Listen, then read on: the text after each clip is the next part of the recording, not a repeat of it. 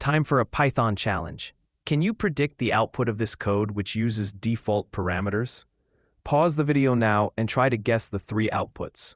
We define send alert with a required message and an optional source that defaults to system. The return statement formats the final message. For call 1, we only pass one argument. Since it's positional, it fills the message parameter. The source defaults to system, as expected. For call 2, we pass two positional arguments. User login attempt goes to message, and firewall overrides the default source value. Call 3 uses keyword arguments, letting us specify the parameters by name.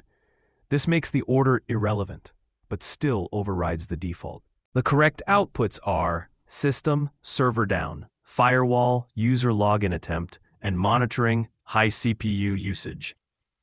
Did you get all three correct? If so, you've mastered default parameters. Hit that like button and follow for more quick coding quizzes.